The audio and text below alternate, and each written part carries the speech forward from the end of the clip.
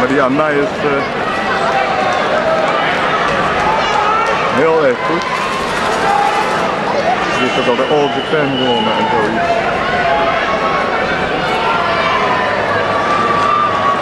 We prepare for the next fight, event number three. Lucia Polelte from Slovenia. Lucia Polelte from Slovenia.